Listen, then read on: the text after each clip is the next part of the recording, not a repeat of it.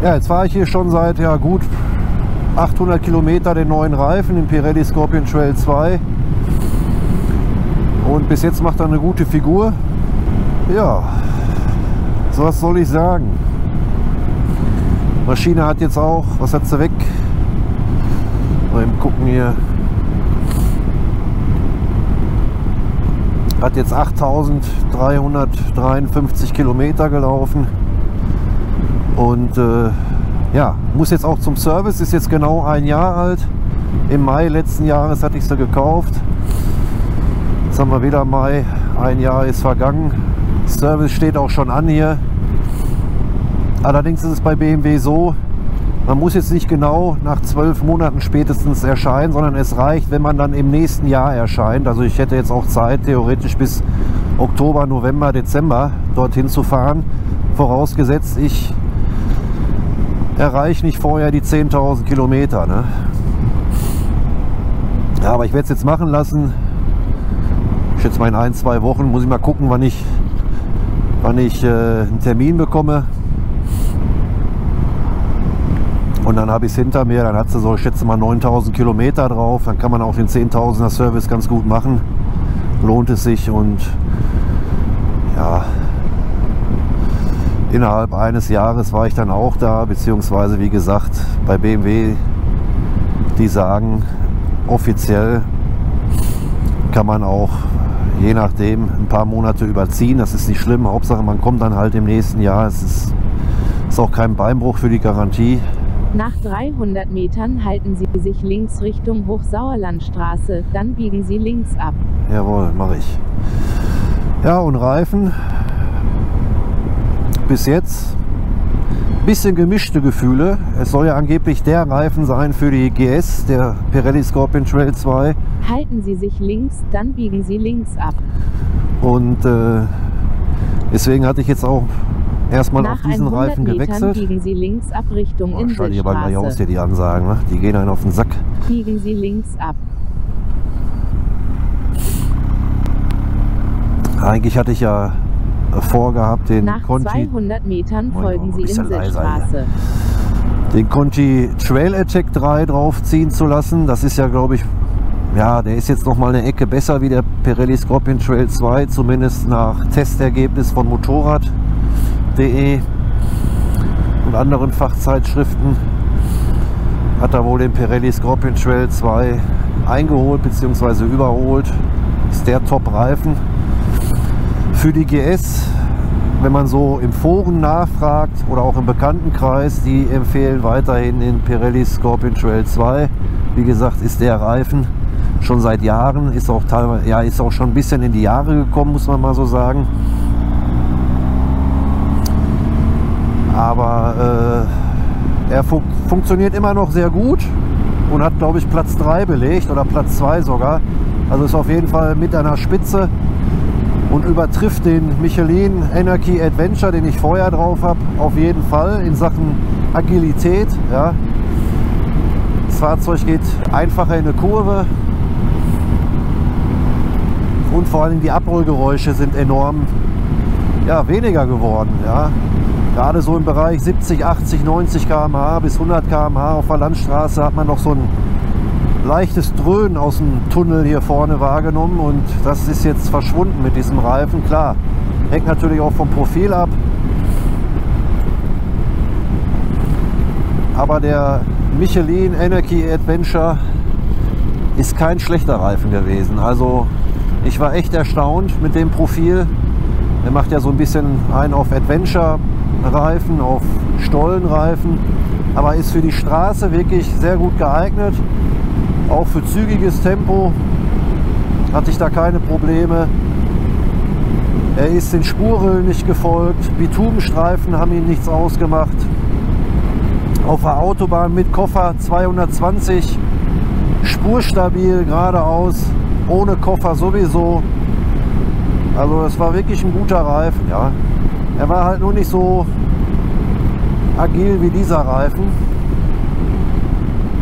Musste man so ein bisschen mehr drücken, sage ich jetzt mal, in den Kurven. der ist hier ein bisschen nervöser, dieser Pirelli Scorpion Trail 2. Der ist auch nervöser wie der Metzler Tourance Next. Ist auch ein sehr guter Reifen, aber auch mittlerweile ganz schön in die Jahre gekommen. Und wie gesagt, bei Reifen, ja, ich probiere auch immer gerne mal was Neues aus. Ne? Und wie gesagt, also hätte ich jetzt diesen Pirelli schon gehabt, würde ich ihn nicht nochmal drauf ziehen lassen. Also der kommt mir auch hier nicht nochmal drauf. Das nächste wird sein der Conti Trail Attack 3. Und dann mal schauen, was es dann so in den nächsten Jahren an neuen Reifen gibt.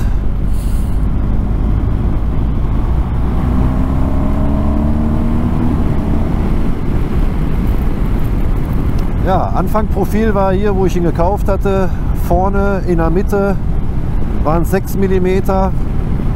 Am Rand sind es, an der Flanke sind es 5 mm gewesen vorne. Und hinten hat er in der Mitte 9 mm und an den Flanken 8 mm. Ich habe das extra von Makumak nachmessen lassen mit seinem geilen Profiltiefenmesser. Ja, das dazu. Also wie gesagt, der Reifen ist wirklich kein verkehrter Reifen. Mit dem Reifen kann man nichts falsch machen. Ja. Er, ist, er hat doch einen sportlichen Touch. Ja. Lässt sich sehr gut handeln, die GS. Also für die Landstraße, sage ich mal, wirklich top geeignet. Leichte Schotterpassagen auch. Und wenn es dann natürlich feucht wird, auf matschigen Terrain, ist er natürlich nichts. Aber da war der Michelin Energy Adventure war da auch nichts, obwohl er danach aussah mit seinem leichten Stollenprofil. Hatte man damit jetzt keine Vorteile. Ja? Man hatte eher so ein bisschen Nachteile auf der Straße. Aber auch nur geringfügig, muss man wirklich sagen. Und dafür hat aber einen großen Pluspunkt. Der Michelin Energy Adventure ist der Regenreifen schlechthin. Ja, der hat Top-Ergebnisse, ist sogar noch besser in dieser Disziplin wie der Conti Trail Attack 3 und natürlich auch besser wie der Pirelli Scorpion Trail 2, Mazda Tourance Next und Michelin Road 5 Trail. Steckt da alle in die Tasche, ja, in der Nässe Performance. Also wer viel im Regen unterwegs ist, ist wirklich der Reifen ja, für Regen. Michelin ist ja sowieso immer bekannt, gute Reifen für Regen herzustellen. Ja, ja den Trail äh, Michelin Road 5 Trail, den hatte ich auf der V-Strom, war auch ein sehr guter Reifen. Der V-Strom-Rider ist total happy mit dem Reifen. Er hat den, glaube ich, jetzt schon zum zweiten Mal draufziehen lassen. Und äh, das hatte ich auch gemerkt.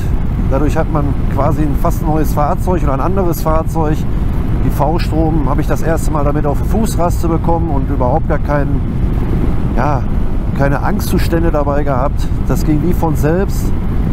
Auch ein sehr schöner Reifen gewesen für flotte Kurvenfahrten.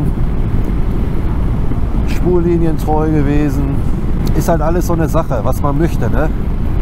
Was man gewohnt ist, was man möchte, wo man fahren möchte, welches Fahrprofil man hat. Man hat pauschal kann man jetzt nicht sagen, das ist der Reifen, den und kein anderer. Aber so für meine Fahrten hier hauptsächlich auf asphaltierten Landstraßen, vielleicht mal einen kleinen Schotterweg entlang, okay, ist aber dann eher die Ausnahme. Dafür sind diese, ja, ich sag jetzt mal Sport-Touring-Reifen noch bestens geeignet. Biegen Sie links ab. Oh, hier müssen wir ja schon rein, sag. Dornheim. Ja, jetzt bin ich mal gespannt, wie lange der Reifen hält. Der Michelin Energy Adventure, der hat jetzt, wie gesagt, 8000 Kilometer gehalten. Oder nee, wann hatte ich den wechseln lassen? 7800. Da hatte er gehabt vorne noch, lasst mich lügen, also an den Flanken war er eigentlich so gut wie blank. Ja, da war er auf jeden Fall auf Mindestprofiltiefe, zumindest kurz davor. Lass das 1,9 mm gewesen sein. Also der Vorderreifen hatte einen enorm hohen Verschleiß. In der Mitte war er eigentlich noch top. Da hatte er noch über 2 mm gehabt, fast 3 mm. zweieinhalb Millimeter so. Ich habe jetzt nicht mehr genau die Zahlen im Kopf. Allerdings die Flanken, die waren, die waren schon wirklich runter. Ich hätte vielleicht noch 500 Kilometer damit fahren können, aber muss ja auch ein bisschen gucken in der Zeit jetzt hier, dass man Termine bekommt. Und wenn man dann einen bekommt, dann sollte man auch zuschlagen. Nicht, dass der Reifenhändler sagt, ja, die nächsten vier Wochen habe ich keinen Termin und dann muss man aber wechseln und kann nicht und möchte fahren. Deswegen bei 7800 Kilometer ist der Satz runtergefahren, runtergeflogen. Äh, wie gesagt, vorne mit ja, grenzwertigem Profil an den Flanken, in der Mitte noch gut. Hinten ebenso gut, auch an den Flanken noch okay. Ja. Mit dem Hinterreifen hätte ich vielleicht noch 1000 Kilometer geschafft.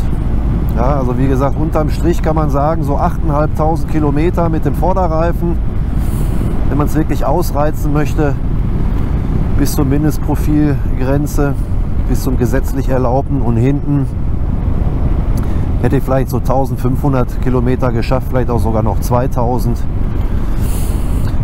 Finde ich jetzt nicht schlecht, ne? muss man mal so sagen.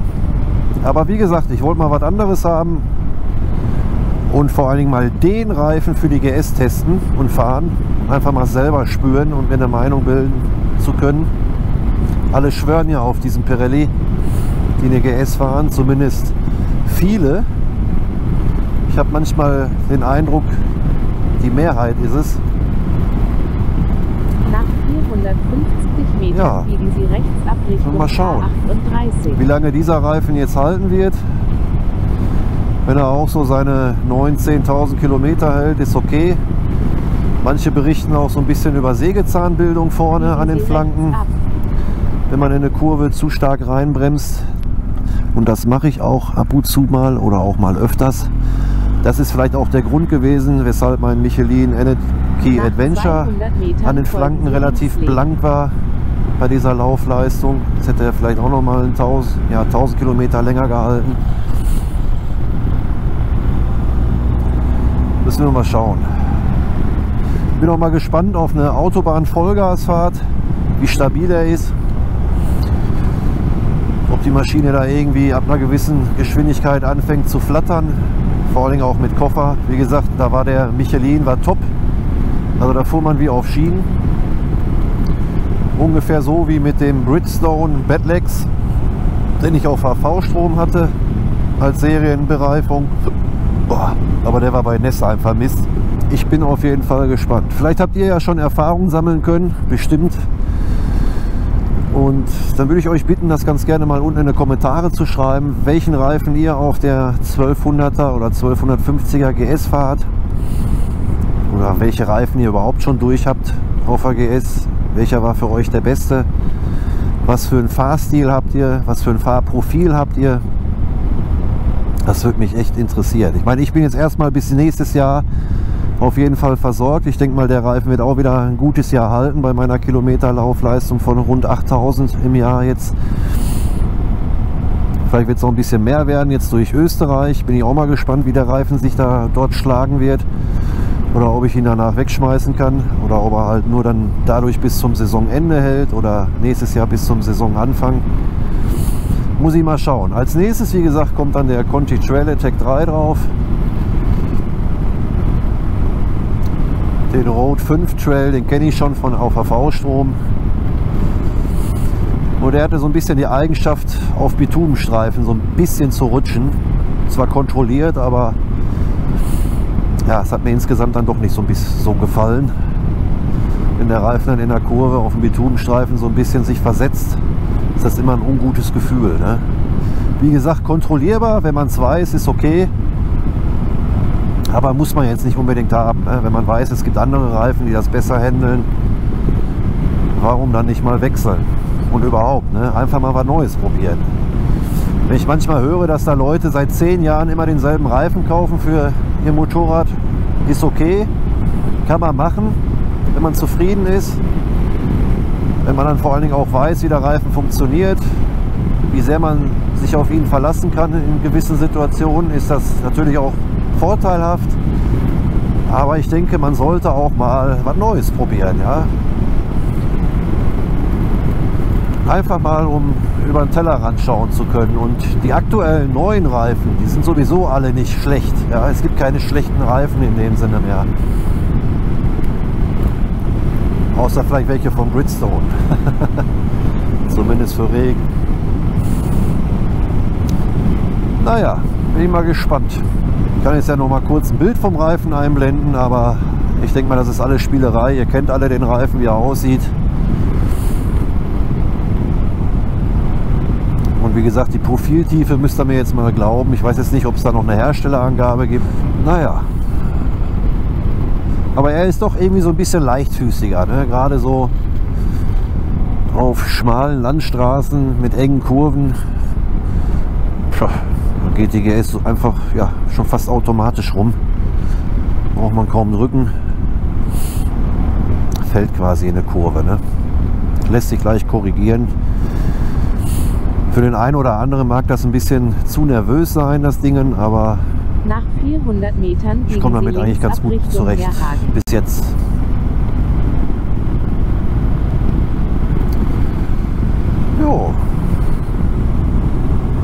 Da würde ich sagen, war es das jetzt auch schon wieder für dieses Video.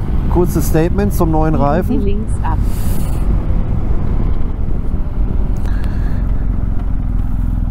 den ich jetzt rund 800 Kilometer drauf habe. Mein erster Eindruck sozusagen vom eingefahrenen Reifen. Mittlerweile soll er ja eingefahren sein, nach 800 Kilometern. Und dann wollen wir mal schauen, was er so in Österreich zu bieten hat. Ja, meine Lieben, in diesem Sinne, bleibt heiter, bleibt munter und vor allen Dingen gesund und 450 oben, ne? In diesem Sinne. Tschüss. Call me what you wanna, I'll be what you wanna. I've been here a thousand times. Hey, hey, falling for another, I even bother. I could do it all my life. So tell me if you wanna, cause I got this feeling. I wanna. 450 Metern biegen Sie links ab Richtung K40.